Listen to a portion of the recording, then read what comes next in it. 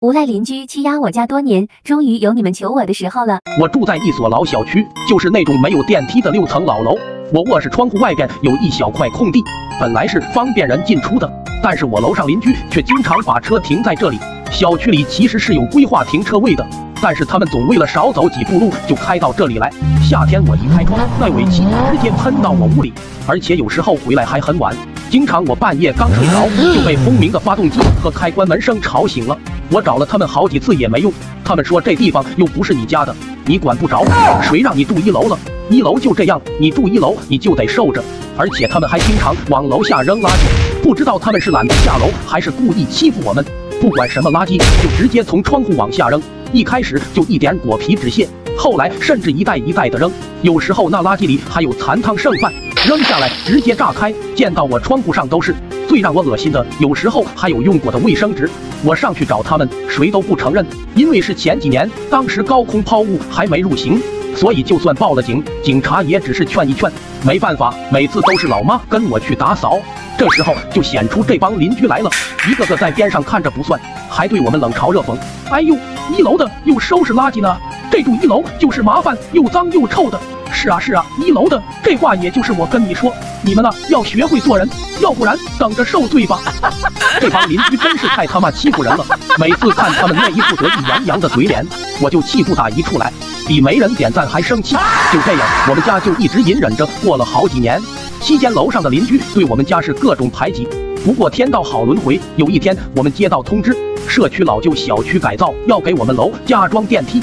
但是因为会给楼体造成正面遮挡，所以需要全楼层都同意才行。听到这个消息，我实在太开心了。我知道我家终于有了扬眉吐气的机会。楼上的这帮老人一开始根本没考虑我们家，在他们看来，我家多年来一直逆来顺受，这次当然也不敢有意见。所以还没等我说话，他们直接就说同意。这时候我冷冷地说：“谁同意去谁家安，反正我家不同意。”我这话一出，这些老人都惊呆了，他们万万没想到。多年来一直忍受苛责的我们家，竟突然叛逆了起来。然后这帮老人就开始轮番指责我，说我不识大体，不知道尊重老人，这么做太自私了等等。这一幕让我想起了当年六大门派围剿光明顶，但是面对他们的口沫横飞，我只淡淡的回复他们两个字：安不了。这下可把他们气坏了。这帮老人万万没想到，我竟然会在这事上将他们一军。这时五楼一位老太太说话了：一楼的怎么就你家这么坏？安电梯这么好的事，你家为啥不同意？灭绝师太不是刘奶奶，我为啥要同意？我们家又不用电梯，你什么素质？年轻人可不能太自私了。你不用，我们要用啊。我们年纪大了，上下楼不方便。我管你们用不用，现在给我说素质。以前往楼下扔垃圾的时候，你怎么不说？我妈我俩在楼下捡垃圾的时候，你怎么不说？在我窗户底下停车还故意摁喇叭的时候，你怎么不说？现在知道岁数大了不能下楼了，你们早干嘛来着？下不来你活该，你们这就叫报应，知道吗？下不来你跳下来。这时候社区李主任也过来劝我说，让我大度点，放下以前的恩怨。呵呵，未经他人苦，莫劝他人善。这人啥都不知道就跑过来劝我大度。那好，李主任，我可以不提以前的恩怨，但是这电梯一安，我一楼房价直接打八折。这钱你们谁给我补？除非，除非什么？除非你们求我，让我看到你们认错的态度。那好，算我们求你了。以前是我们错了，你看在我们年纪大了，就同意了吧？行不行？不行。我是王金条，我的愿望是世界和平。么么么么么么么么么么么么么哒。无赖邻居故意剐蹭我的车，最后喜提银手镯一副。前两年我刚搬到这个小区的时候，为了停车方便，就想买一个停车位。很巧，我正好在业主群里看到一条车位转让的消息，而且价格很便宜。好奇怪，这么便宜怎么没人买呢？我去车位那里看了看，位置没什么问题，虽然挨着一根柱子，但是出来进去还是挺方便的。这不是捡个大便宜吗？开心，于是我就直接买下了。由于我旁边停着一辆越野车，很大的那种，所以我每次停车都尽量靠近柱子，够我开门下车的距离就行了。但是我发现旁边的越野车就不太讲究了，每次都停得很有时候都快压到我这边的车位线里了。而且我发现我的右边车门出现好几个小坑，我知道肯定是隔壁越野车给我碰的。一天我在车库里遇到了隔壁车位的大哥，我就打算把这个事跟他说一下。你好，大哥，你这车这么大，停车可要技术啊。结果这大哥上来就对我，你也知道啊，你说你买哪个车位不好，非买我旁边这个车位，空了这么长时间都没人敢买，就你不长眼，我现在开门都费劲。大哥，你这话是怎么说的？这有空车位还不能买了吗？而且你这开车技术也该练练了，我看你总是停的歪七扭八，开门时还碰了我好几回。我现在车门上好几个小坑，你说啥呢？谁碰你车了？你不要诽谤我啊！我告诉你，到你碰瓷信不信？我停车不用你教，我爱怎么停就怎么停，受不了你停别的地方去。大哥，你别急，我也没说要你赔，我就是提醒你一下，用得着你提醒吗？你算干嘛的呀？买车位前也不打听打听，我告诉你，你赶紧换车位，听到没有？要不然有你好受的。我靠，这人怎么这么无赖？碰我车还有理了？我又想到最近连个点赞关注的人都没有，我这火腾一下就上来了。不行，必须给他治治这毛病，都是给他惯的。于是我就去买了几根隔离霜，写的那种，找工人用膨胀螺丝直接固定在了我车位的边上。这样我在驾驶位开车门是不受影响的，但是隔壁就不好开门了。然后我还在车位对面安了一个小摄像头，一来是为了看他下不来车出糗的样子，二也是为了防止他狗急跳墙再伤我车。第二天一大早我就接到物业的电话，说我安隔离桩被人投诉了。我说我在自己车位安隔离桩，别人管不着，谁觉得不合理，让他来找我。当天下午我在车库就碰到了这大哥。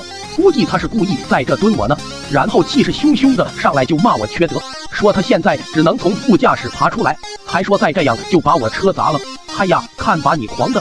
我说如果不是你一直故意碰我车门，我能安隔离桩吗？我自己的车位，我想干啥就干啥。然后不管他怎么骂，反正就是两个字，拆不了。还有以后你开车门小心点，别把我隔离桩碰掉漆了。就这么过了几天，一天晚上。我接到物业电话，说我车在车库被撞了，我赶紧过去看，没错，就是隔壁大哥撞的，但是他人不在，于是我赶紧拿出手机看监控，监控显示一开始这大哥是让代驾送回来的，他应该是喝酒了，然后代驾把车停好就走了，这大哥从车里爬出来，看了看我安的隔离桩，借着酒劲，应该是怒从心起。也不顾自己喝酒了，上车就开始对着我车撞，来回撞了几下后就晃晃悠悠的走了。我的天，这是酒驾！但是我一开始并不想把事情闹大，我知道这是要吃牢饭的。于是我找出他电话，问他这个事怎么处理。但是他借着酒气上来就是一顿骂。我说你最好想清楚，都是一个小区的，我不想搞得太过。但是你再这样，那我就公事公办了。他还是一直骂，说谁怕谁，老子有的是人。早就看你不顺眼了，你给我小心点。没办法，我只好报了警，把事情经过和监控录像都给了警察叔叔。然后隔壁大哥直接就被带走了。走，兄弟，咱们再去喝点。大哥今天报仇了，心里高兴。这大哥酒醒后也吓坏了，完全没了撞车时那股牛逼劲头。一听说要走刑事，哭得稀里哗啦的。最后这大哥因危险驾驶被判了两年，并且赔偿我的所有损失，因为酒驾保险是不赔的。所以他们家还要自己掏钱给我修车，这大哥五年内还不能考驾照，人也进去了，所以他们家就把车给卖了。我现在停车再也不用怕被碰车门了。一开始我跟他好好协商，他给我耍无赖，最后事情搞成这样，你说能怪谁呢？我是王金条，我的愿望是世界和平。么么么么么么么么么么么么哒！无赖邻居垃圾故意丢我门口，看我怎么治他。周末早上。我正在家里睡懒觉，突然被一阵急促的敲门声吵醒。打开门，竟然是楼管阿姨。我正一脸懵逼，她上来就是劈头盖脸一顿训：“小伙子，怎么这么不注意卫生？垃圾谁让你放楼道了？现在天气越来越热，你不知道垃圾会发臭吗？现在这年轻人真是懒得要命。”我大脑刚开机，遇到这么紧急的情况，突然有点反应不过来。但是我门边确实丢着几袋垃圾，可这不是我丢的。我刚要开口解释，他却已经骂骂咧咧的走了。卧槽，我这个气啊！大周末好不容易睡个懒觉，这下全毁了，还莫名其妙挨顿骂。我招谁惹谁了？这几天熬夜做的动画也没几个赞，我真是太难了。本来这件事我也没放在心上，但是我没想到第二天早上楼管阿姨又来敲我门。我靠，我服了，这他妈是谁呀？怎么又把垃圾丢我门口了？楼管阿姨又是一顿无差别攻击，然后还威胁我说再这样要加收我卫生费。不行不行，这肯定是有人故意的，我必须把他揪出来。事不宜迟，我马上在楼道角落安了一个小摄像头，走廊和门口都看得一清二楚。第二天早上果然又有垃圾，我拿出手机看监控拍到的画面，监控显示是早上五点多，一位五六十岁的大妈蹑手蹑脚的把垃圾丢在我门口。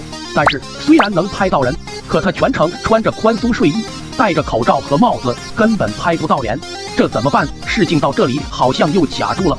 正在这时，我突然闻到一股鱼香肉丝的味道，顿时想到这应该是外卖，于是我赶紧在垃圾里翻找，果然被我发现了。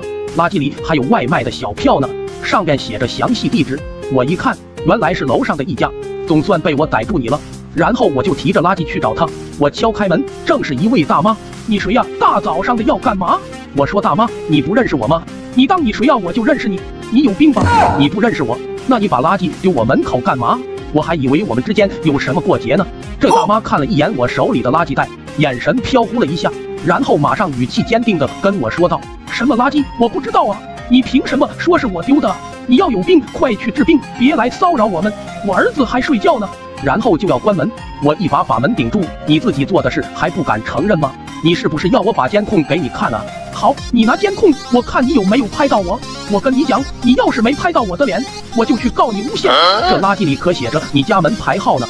大妈，就这么件小事，只要你承认了，而且不再丢了，不就行了吗？不是我丢的，我干嘛要承认？真是搞笑！要不然你打我，来来来，打我打我！说着，这大妈一歪脑袋就要往我怀里扎，吓得我赶紧往后退。这小可爱我可顶不住，我真是不知道人竟然能无赖到这种程度。正面过招我失败了，我还是去物业投诉吧。我来到物业，把事情经过讲了一遍，结果没想到物业经理一边玩着手机，一边跟我说。我们会去调解的，你先回去吧。我说我都没跟你说是哪家呢，你去跟谁调解？你能不能认真一点？那你说嘛？再说不就是丢个垃圾吗？又不是多大个事，你家又挨着电梯，顺手帮人家丢一下怎么了？那你的意思是这件事你们物业不管是吧？我有说不管吗？我说了我们会去调解，难道我还用你教我做事吗？行，你们物业真行，你等着有我治你们的时候。但是现在还是要先把丢垃圾的这家给办了。你们不是给我门口丢垃圾吗？那就别怪我用其人之道还治其人之身了，而且是加倍奉还。但是我家里没有那么多垃圾，于是我就去楼下垃圾桶里特意拿了几袋出来，然后趁晚上没人，就一股脑全堆他家门口了，封了个严严实实。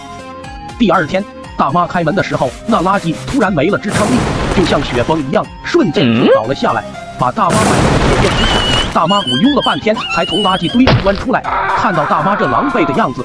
我心里别提多解气，甚至还想多来几次，但是怎么对付物业，我还没有想好。小伙伴们，你们有什么好办法吗？评论区告诉我吧。我是王金条，我的愿望是世界和平。么么么么么么么么么么么么哒。